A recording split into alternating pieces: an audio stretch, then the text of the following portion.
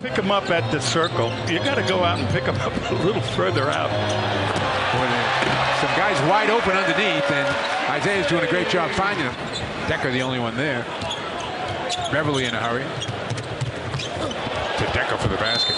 And Brad Stevens unhappy with the defense there. Quick timeout is taken.